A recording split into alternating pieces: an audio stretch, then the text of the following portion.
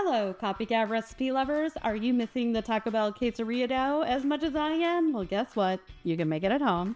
This cheese lover stream combines a quesadilla and a burrito in one epic meal. Now, it has a few components in it, and I'm going to walk you through all of them. You're going to start with your chipotle sauce that really combines this all together. Then we are going to make a wonderfully seasoned rice, so go ahead and get that started. And then I'm going to show you how to make their seasoned ground beef. You're going to make up your own custom blend of spices, and then we're going to use this for the beef. After you brown up the beef, go ahead and add in your seasoning. And then you're going to finish your rice with a little bit of cilantro. Now we're going to make a quesadilla.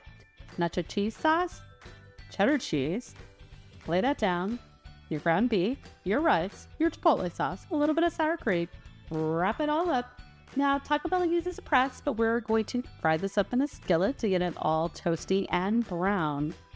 The result is a cheesy, beefy, spicy masterpiece that's even better than the original.